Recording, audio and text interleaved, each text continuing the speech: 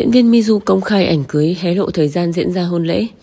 Chiều 21 tháng 4, nhiều bạn bè đồng nghiệp đăng thiệp cưới của diễn viên Mizu và bạn trai doanh nhân. Hôn lễ của nữ diễn viên được diễn ra vào 29 tháng 6. Mizu viết trên trang cá nhân, mùa hè có tuyết rơi và một ngày đặc biệt bạn sẽ vừa gặp được một người để rồi mọi thứ từ đó cứ được ăn bài như định mệnh. Cuối cùng sau biết bao thử thách, cô gái ấy cũng chờ đợi đến đúng ngày định mệnh của mình xuất hiện. Không sớm một bước cũng không muộn một bước, vừa vặn trong ngàn vạn người tôi đã gặp một người thuộc về mình. Người đẹp cho biết vị hôn phu hiền lành, tử tế và ấm áp. Cô sẽ sớm giới thiệu người đàn ông của mình đến với mọi người. Trước đó Mizu khiến mạng xã hội xôn xao trước thông tin cùng bạn trai doanh nhân thực hiện bộ ảnh cưới.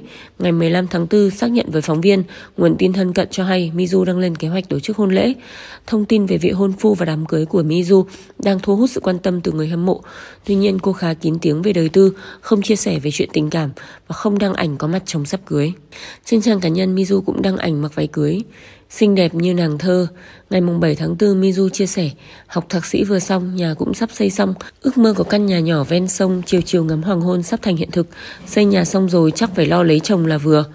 Ở tuổi 35, Mizu chuộng phong cách trẻ trung năng động, cô làm việc chăm chỉ nhiều vai trò như giảng viên, kinh doanh bất động sản và diễn viên. Phim gần nhất cô tham gia là Khi ta 25, đóng cặp Lê Dương Bảo Lâm. Mizu không nghĩ mình thành công, tự thấy đang ở những bậc thang đầu tiên trong đời. Mỗi ngày cô thích tự học kiến thức mới. Cô không ôm đồm công việc mà muốn khám phá đầy đủ năng lực giới hạn bản thân. Mizu được coi là một trong những người đẹp sở hữu lượng khán giả đông đảo nhờ ngoại hình xinh đẹp, trình độ học vấn cao. Cô không chỉ hoạt động lĩnh vực nghệ thuật mà còn thành công khi lấn sân sang kinh doanh. Mizu là cựu sinh viên Đại học Kiến trúc Thành phố Hồ Chí Minh, sau đó giảng dạy ngành thiết kế thời trang tại Đại học Công nghệ Thành phố Hồ Chí Minh từ tháng 5 năm 2017. Sau mối tình tan vỡ với Phan Thành, Mizu vẫn chưa công khai bạn trai mới. Sau những vấp ngã, mình cần phải tỉnh táo hơn để xác định, tạm cho những điều kiện như đẹp trai hào hoa chỉ là xếp sau, điều mình cần là một người thật thà trung thủy, Mizu nói về quan điểm chọn bạn trai. Động thái của Trần Anh Huy, Harilu khi Mizu kết hôn Trên trang cá nhân, diễn viên Trần Anh Huy có động thái đáng chú ý liên quan đến chuyện Mizu kết hôn. Trần Anh Huy đăng tải khoảnh khắc Mizu bên cạnh chồng sắp cưới, đồng thời gửi lời chúc hạnh phúc đến cô. Nếu có một tình bạn thật đẹp trong showbiz thì chắc chắn chính là tình cảm mà mình dành cho Mizu, cô bạn thân sinh ngoan của mình. Mình xúc động và hạnh phúc khi nhìn thấy cô ấy được hạnh phúc.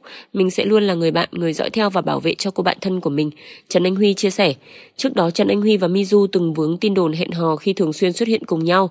Tuy nhiên Mizu đã lên tiếng phủ nhận, khẳng định cả hai chỉ là bạn bè. Cô từng chia sẻ, Mizu và Huy chỉ là bạn thân với nhau thôi, đôi lúc cũng có giận nhau, cũng muốn nghỉ chơi chơi, nhưng tính Huy dễ thương, đôi ba bữa là hết giận nhau ngay. Cùng thời điểm này, Quốc Trường, người từng vướng tin đồn hẹn hò với Mizu cũng đăng tải hình ảnh nữ diễn viên kèm dòng chia sẻ, chúc em hạnh phúc. Trong khi đó Hariru nhắn nhủ đến người bạn xinh đẹp. Trong khi đó Hariru nhắn nhủ đến Mizu, gần một thập kỷ làm bạn với nhau, xem nhau như người thân trong gia đình. Tôi rất vui khi biết tin Mizu tìm được hạnh phúc của mình. Tôi thật sự cảm thấy rất hạnh phúc. Chúc mừng Mizu. Chiều 22 tháng 4, Mizu đăng tải hình ảnh bên chồng sắp cưới, đã được cô khéo léo giấu mặt, đồng thời xác nhận thông tin sẽ tổ chức hôn lễ vào tháng 6 năm 2024. Mizu cho biết sau quãng thời gian chờ đợi cô đã gặp được định mệnh. Chồng sắp cưới của cô, theo Mizu chia sẻ, là một người hiền lành, tử tế và ấm áp. Cô khẳng định tôi đã tìm được hạnh phúc của đời mình. Hiện tại danh tính chú rể vẫn được Mizu giữ kín. Cô nói sẽ thu xếp để giới thiệu người đàn ông của đời mình đến mọi người. Nhiều sao Việt như Thu Trang, Tiến Luật, Mai Phương Thúy, Nam Thư gửi lời chúc mừng khi nữ diễn viên những thiên thần áo trắng tìm được bến đỗ cho mình sau những thăng trầm. Nhiều khán giả mong chờ đám cưới hoành tráng của Mizu vào tháng 6 sắp tới. Xôn xao danh tính chồng sắp cưới của Mizu Thông tin Mizu sắp lên xe hoa khiến người hâm mộ bất ngờ và vui mừng. Những lời chúc tụng liên tục được gửi đến Mizu. Bên cạnh loạt ảnh Mizu xinh tươi trong bộ hình được cô tung ra đúng dịp mùng 1 tháng 4 vừa qua, thông tin về chồng sắp cưới của Mizu cũng là một trong những điều được đông đảo công chúng quan tâm. Tới hiện tại Mizu vẫn giấu kín danh tính về nửa kia, mạng xã hội xôn xao thông tin chồng sắp cưới của cô là một thiếu gia tập đoàn nhựa nổi tiếng, hiện là giám đốc điều hành chi nhánh tại Mỹ. Không chỉ tài năng, anh chàng còn sở hữu diện mạo ưu tú, điển trai không kém tài tử. Trong những bức ảnh hậu trường đi chụp ảnh diện váy cô dâu, Mizu cũng không để lộ hình ảnh của người đàn ông bên cạnh. Mizu kín tiếng trong chuyện tình cảm, cô từng trải qua một chuyện tình công khai trước đó với thiếu gia Phan Thành. Nói về tiêu chuẩn chọn lựa bạn trai, Mizu từng chia sẻ, cô thích một người chân thành khiến cô tin tưởng. Sau những vấp ngã, mình cần phải tỉnh táo hơn để xác định tạm cho những điều kiện như đẹp trai hào hoa chỉ là xếp sau. Điều mình cần là một người thật thà trung thủy, Mizu từng bộc bạch. Ngày 7 tháng 4 vừa qua, Mizu đăng ảnh về căn nhà mới cùng chia sẻ. Học thạc sĩ vừa xong, nhà cũng sắp xây xong. Ước mơ có căn nhà nhỏ ven sông, chiều chiều ngắm hoàng hôn sắp thành hiện thực. Xây nhà xong rồi chắc phải lo lấy chồng là vừa.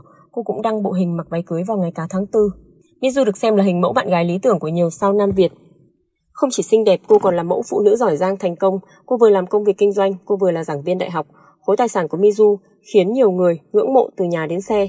Năm 2016, Mizu thành lập thương hiệu thời trang riêng, đầu tư 15 tỷ cho khu ăn chơi mua sắm kết hợp ẩm thực thời trang đầu tiên tại thành phố Hồ Chí Minh. Không những vậy, không ít lần Mizu chia sẻ hình ảnh chụp cùng một tập sổ đỏ. Cô thường xuyên đầu tư vào bất động sản, đang hoàn thiện căn biệt thự tại quận 2 thành phố Hồ Chí Minh. Cô gặt hái nhiều thành công trên màn ảnh qua các vai diễn. Vai gần đây nhất trong bộ phim Khi ta 25 đóng cùng Lê Dương Bảo Lâm. Mizu từng sử dụng xe tiền tỷ của chồng tin đồn đến đám cưới Puga. Vào ngày 6 tháng 11 năm 2023, netizen phát hiện Mizu sử dụng một chiếc Land Rover Defender có giá mua mới lên đến 4 tỷ đồng khi tham dự đám cưới Jin Tuấn Kiệt và Puka. Đây là mẫu SUV Off-road đầu bảng của thương hiệu Anh Quốc khi sở hữu kiểu dáng hầm hố cùng độ bền bỉ và thực dụng cao, phù hợp khi di chuyển qua các địa hình khó và khắc nghiệt. Từ trước đến nay, Mizu chỉ công khai mình đang sở hữu hai chiếc Mercedes-Benz E-Class và Audi A4. Thế nên việc Mizu sử dụng chiếc xe nói trên khiến netizen không khỏi thắc mắc về chủ nhân của mẫu SUV Anh Quốc. Theo đó, chiếc Land Rover Defender đang được đứng tên bởi công ty trách nhiệm hữu hạn nhựa Duy Tân. Điều này một lần nữa khẳng định thông tin chồng tin đồn của Mizu nhiều khả năng là thiếu gia nhựa Duy Tân Trần Duy Minh Đạt. Minh Đạt là con trai của Chủ tịch Hội đồng Quản trị kiêm Tổng Giám đốc, ông Trần Duy Hy, anh hiện là Giám đốc vận hành của công ty Brassen tại Mỹ, chi nhánh của nhựa Duy Tân. Con trai cưng của ông Hy tốt nghiệp cử nhân ngành tài chính và quản lý tại Đại học Virginia, Mỹ và tốt nghiệp thạc sĩ quản trị kinh doanh MBA tại Đại học California, Mỹ. Thời điểm mới tốt nghiệp đại học, anh từng làm việc tại Nhựa Duy Tân ở vị trí chuyên viên phân tích nghiệp vụ Business, Business Analyst trong vòng 2 năm. Minh Đạt đang là một trong những tài năng triển vọng trong làng doanh nhân trẻ Việt Nam. Từ tháng 6 năm 2016, Minh Đạt đảm nhận vị trí giám đốc vận hành chi nhánh của Nhựa Duy Tân ở Mỹ. Tính đến hiện tại anh đã là CEO được gần 8 năm. Tính đến hiện tại anh đã là giám đốc vận hành được gần 8 năm và thời gian đó anh cũng là trợ lý tổng giám đốc của Nhựa Duy Tân. Ngoài công việc kinh doanh, Minh Đạt còn tích cực tham gia các hoạt động trong cộng đồng doanh nhân trẻ thành phố Hồ Chí Minh.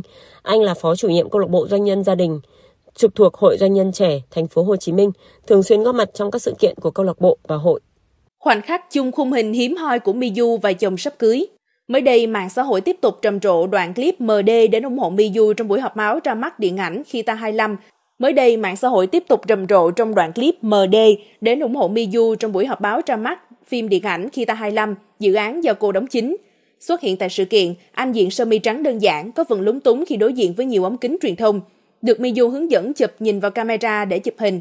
Cả hai đứng sát vào nhau chụp hình rồi đi vào trong hậu trường. Theo nhiều nguồn tin, nửa kia của nữ diễn viên tên là MD, thiếu gia của một tập đoàn nhựa có tiếng ở Việt Nam. MD còn sở hữu bản thành tích học cực khủng như tốt nghiệp cử nhân ngành tài chính và quản trị tại Đại học Virginia, thạc sĩ quản trị kinh doanh MBA tại Đại học California, Mỹ. Một số hình ảnh lan truyền trên mạng xã hội cho thấy chồng sắp cưới của Miyu có ngoại hình điển trai, nam tính, được nhận xét xứng đôi với nữ diễn viên. Miyu đã xác nhận tổ chức đám cưới với ông xã giấu mặt vào ngày 29 tháng 6 sắp tới. Trên trang cá nhân, nữ diễn viên tiết lộ cô chụp ảnh cưới tại Paris vào một ngày mùa đông tuyết, vào một ngày mùa đông tuyết rơi rất đẹp. Nữ diễn viên chia sẻ, mình chụp hình cưới ở Paris vào một ngày tuyết trắng như cổ tích, tại một tòa lâu đài cổ kính mang trong mình nhiều câu chuyện về giá trị lịch sử. Paris ít khi nào có tuyết phủ trắng đẹp đến nao lòng thế này. Hôm đó chắc chắn là một ngày đặc biệt. Những người làm tại lâu đài đón tụi mình bằng nụ cười rạng rỡ, Họ cũng ngạc nhiên vì chưa ai chụp được cảnh lâu đài giữa khung cảnh tuyết trắng đầu ngày hùng vĩ và tuyệt đẹp đến thế. Bộ hình tụi mình chụp cũng còn nhiều điều thú vị, sẽ chia sẻ với mọi người trong bộ ảnh trọn vẹn hơn. Miyu cũng đã gửi thiệp mời đến nhiều sao Việt như Tú Vi, Harry Lu, Mai Phương Thúy, Tiến Luật, Quốc Trường, Sĩ Thanh. Harry Lu, diễn viên được đẩy thuyền với Miyu qua bộ phim 4 năm hai chàng một tình yêu cũng gửi lời chúc phúc đến cô nàng. Gần một thập kỷ làm bạn với nhau, xem nhau như người thân trong gia đình, Harry rất vui khi biết tin Miyu tìm được hạnh phúc của mình.